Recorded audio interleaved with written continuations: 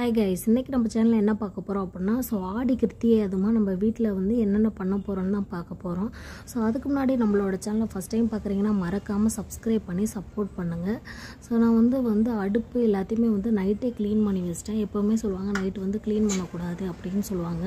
But நான் பாப்பா வச்சுருக்கறனால வந்து ஃபுல்லாக டே ஃபுல்லாக வந்து அழுதுகிட்டே இருப்பா. அதனால என்னால் ஒரு வேலையுமே பார்க்க முடியாது. நான் ஒரு ஆள் தான் இருக்கிறனால என் ஹஸ்பண்ட் வந்து மார்னிங்கே வேலைக்கு போயிடுவாங்க அதனால் என்னால் ஒன்றுமே பண்ண முடியாது. ஸோ நைட்டு நைட் நேரத்தில் அவளை தூங்க வச்சுட்டு தான் நான் எல்லா வேலையுமே பார்க்க முடியும். அதனால தான் நைட்டே நான் எப்போவுமே க்ளீன் பண்ணிடுவேன். அடுப்புக்கு எப்போவுமே என்ன பண்ணுறீங்க அப்படின்னா சந்தன குங்குமம் விற்கிறத விட மஞ்சள் குங்குமம் வச்சிங்கன்னா அது கொஞ்சம் விசேஷமானது.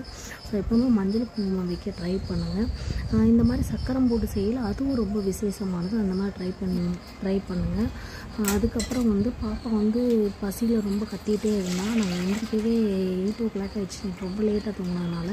ஸோ வந்து நான் எப்போவுமே வந்து ஆரஞ்சு கலர் பேக் ஆவின் பால் தான் வாங்குவேன். ஆனால் நான் லேட்டாக இருந்துச்சனால எனக்கு க்ரீன் கலர் பேக்லாம் கிடச்சிருந்தது. சரி ஓகே அப்படின்னு சொல்லிட்டு அதை வந்து பால் ஒரு பக்கத்து சூடாகட்டும்னு சொல்லிட்டு வேறு வேலையை பார்க்க ஆரம்பிச்சிட்டோம். ஸோ எப்போவுமே நிலையில் வந்து மஞ்சள் குங்குமம் இந்த மாதிரி வச்சிங்கன்னா முருகருக்கு ரொம்ப வந்து விசேஷமானது. ஸோ மறக்காமல் இந்த மாதிரி நீங்கள் ட்ரை பண்ணி பாருங்கள் அப்போ என்ன பண்ணுறீங்க சாமி பார்த்து ஃபோட்டோ வச்சுக்கிறீங்களா?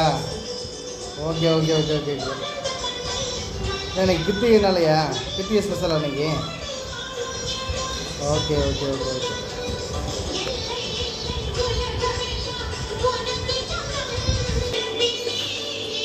பாருங்க.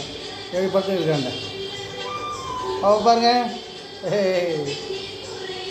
கோயிலுக்கு கிளம்பலையா நீங்கள் கிளம்பு கிளம்புங்க பாப்பா கிளம்புங்க. கோயிலுக்கு போகலாம்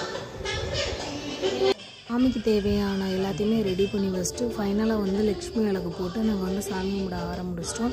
நான் வந்து சாமி முறையில் எப்போவுமே வந்து அஞ்சு விளக்கு போடுவேன். அஞ்சு மூணு இந்த மாதிரி தான் போடுவேன்.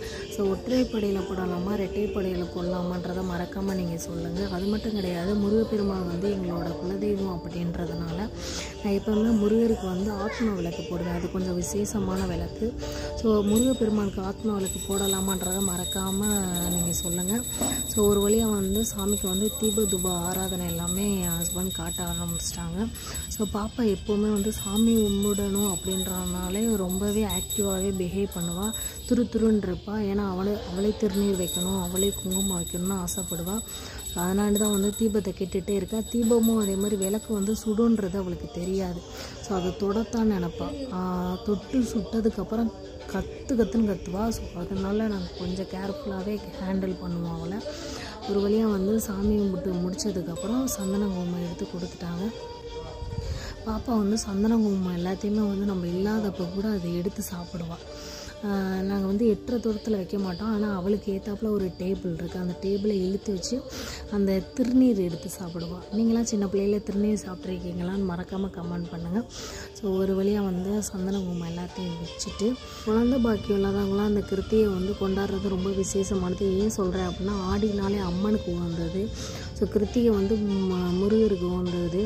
ஸோ வந்து பார்வதி தாய் வந்து முருகப்பெருமானை வந்து கார்த்திகைகிட்ட கொடுக்கறத தான் கிருத்தியை வச்சு விசேஷமாக வச்சு கொண்டாடுறாங்க. அதுக்காக தான் சொல்கிறது குழந்தை இல்லாதவங்க வந்து கிருத்தியை வந்து கொண்டாடுங்க. விருது எடுத்து வந்து சாமி கும்பிடுங்கன்னு சொல்கிறது ஸோ ஒரு வழியாக வந்து பாப்பா அழுதுட்டு ரொம்ப அழுதுகிட்டே இருந்தால் அழுதனால என் ஹஸ்பண்ட் சொல்லிட்டாங்க நானே சாம்பார் வைக்கிறேன். நீ ஒரு சைடு வந்து உருளைக்கிழங்க வேக வச்சுட்டு நீ போ. நான் சாம்பார் வச்சு சாம்பார் வைக்கிறேன் நீ பாப்பா தூங்க போடு அப்படின்னு சொல்லிட்டாங்க. ஸோ அவங்க வந்து கொஞ்சம் டிஃப்ரெண்ட்டாக வச்சாங்க. எப்படி அப்படின்னா பருப்பையும் தக்காளியும் தனியாக குக்கரில் வேக வச்சுட்டு ஸோ தாளிப்பு எப்போவும் நம்ம சாம்பாருக்கு தாளிப்போம்ல அது மாதிரி தாளிப்பு ரெடி பண்ணிவிட்டு அது கூட வந்து கட் பண்ணி வச்சுருக்க காயெல்லாம் போட்டு சாம்பார் பொடி போட்டு சீரகத்தூள் போட்டாங்க. போட்டு கொஞ்சம் மஞ்சள் தூள் போட்டு ஸோ அதை உப்பு போட்டு கொஞ்சம் நேரம் மூட வச்சிட்டாங்க தண்ணி ஊற்றி அது நல்லா வெந்ததுக்கப்புறம் ஸோ நம்ம அவங்க வேக வச்சுருந்த பருப்பையும் தக்காளியும் வந்து அரைப்பதமாக வேக வச்சுருந்தாங்க. அதையும் அது கூட ஆட் பண்ணிட்டாங்க. ஸோ நல்லாவே காய் வெந்ததுக்கு அப்புறம் தான் இந்த பருப்பையும் தக்காளியும் அது கூட ஆட் பண்ணாங்க. ஆட் பண்ணிவிட்டு ஸோ குக்கரை லைட்டாக க்ளீன் பண்ணி அதோட தண்ணியும் வந்து அந்த சாம்பாரில் ஊற்றிட்டு ஒரு கிளறு கிளறிட்டு டேஸ்ட்டு பண்ண போனாங்க. ஏங்க இது சாமிக்கு படைச்சிட்டு தாங்க டேஸ்ட்டு பண்ணணும் அப்படின்னு சொல்லிட்டேன். சரி ஓகே உப்பு எப்படி இருக்குன்னு தெரியலை. எதாக இருந்தாலும் அட்ஜஸ்ட் பண்ணிக்கணும்னு சொல்லிட்டு மூடி போட்டுட்டாங்க. மூடி போட்டு ஒரு ஃபிஃப்டீன் மினிட்ஸ் வேக வச்சாங்க சிம்மில் வச்சு. ஒரு பக்கெட்டு வந்து முட்டைக்கோஸை வந்து ரொம்ப ஃபாஸ்ட்டாகவே கட் பண்ணாங்க. டைம் இல்லை. ஏன்னா வந்து நாங்கள் எல்லாமே ரெடி ப டுவெல் ஓ கிளாக்கே ஸ்டார்ட் பண்ணிட்டோம். பட் வந்து எங்களுக்கு டைம் வந்து பத்தலை.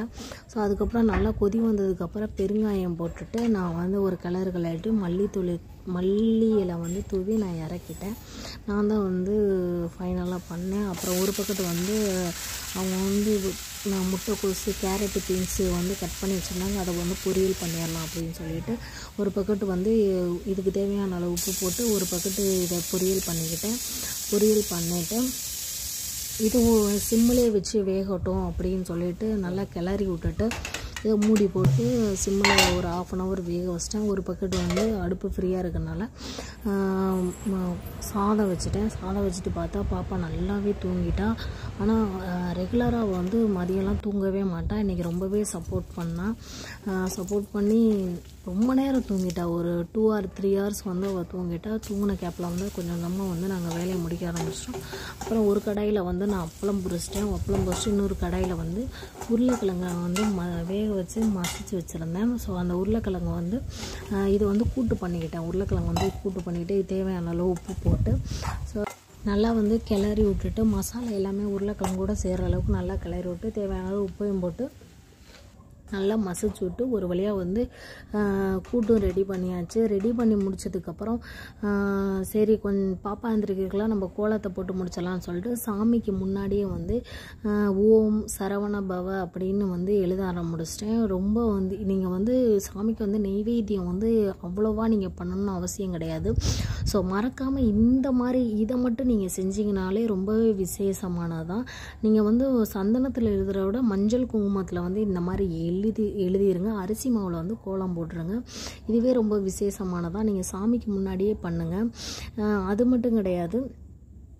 நீங்கள் வந்து நெய்வேத்தியம் பெருசு பெருசாக பண்ணுறதை விட சிம் நீங்கள் விரதம் எடுக்கிறதுக்கு நார்மலாக சமைப்பீங்கள்ல சாம்பார் கூட்டு பொரியல் அந்த மாதிரியே வந்து சிம்பிளாக பண்ணிவிட்டு இந்த மாதிரி நீங்கள் வந்து கோலம் மட்டும் போட்டு சாமி கும்பிட்டிங்கன்னா ரொம்பவே விசேஷமானது. அது மட்டும் கிடையாது. நான் குங்குமம் வைக்கிறத நல்லா கவனிங்க. ஒரு ஒரு எழுத் ஒவ்வொரு எழுத்துலேயும் ஒற்றைப்படையிலையும் நான் குங்குமம் வச்சுருக்கேன். இந்த மாதிரி தான் வைக்கணும். ஏன்னா இந்த ஒற்றைப்படையில் தான் வைக்கணும். ஸோ அதுவும் கொஞ்சம் விசேஷமானது. இந்த மாதிரி எல்லா எழுத்துலேயுமே வந்து ஒற்றைப்படையில் வச்சுட்டு ஒரு வழியாக வந்து நான் கோலம் போட்டு முடிச்சிட்டேன். அது ஏன்னா பாப்பா எந்திரிக்கிறதுக்குள்ளே வந்து கோலம் உணர்ந்துடும் நம்ம எந்திரிக்கிறதுக்குள்ளே இல்லை அப்படின்னா கோலத்தை அப்படியே நாசம் பண்ணிடுவா அதுக்காக தான் முன்னாடியே வந்து நான் கோலம் போட்டுட்டேன். கோலம் போட்டதுக்கப்புறம் வந்து நம்ம சமைச்சதை எல்லாத்தையுமே வந்து ஒன்று ஒன்றா எடுத்து வைக்க ஆரம்பிச்சாச்சு. இந்த இதெல்லாம் என்ன பண்ண போகிறோம் அப்படின்னா வந்து நம்ம வந்து ஒரு அஞ்சு பேருக்கு நம்மளால முடிஞ்ச ஒரு அஞ்சு பேருக்கு வந்து இந்த நல்ல நாள் அதுவுமா சாப்பாடு கொடுக்கலாம்னு சொல்லி தான் பிளான் பண்ணியிருந்தோம். ஒரு சைடு வந்து ஸ்வீட் ரெடி பண்ணிகிட்டு இருந்தேன். ஸ்வீட்டை எதுவும் கொடுக்கணும்னு சொல்லி யோசிக்கல. வந்து நமக்கு ஈஸியாக முடிஞ்சது வந்து கேசரி தான். நல்லா முந்திரியவும் ட்ரை கிரேப்ஸி நல்லா வறுத்து நெய்யிலே வறுத்து ஒரு வழியாக கேசரி ரெடி பண்ணிட்டோம். எல்லாம் முடிஞ்சா? வேற லெவல் பண்ணுறீங்க இன்னைக்கு. பாருங்க வேறு இருபத்தி எப்படி வேலை செய்யற பாருங்க. என்னது வத்தலா? வா இதான் வத்தல். வேறு.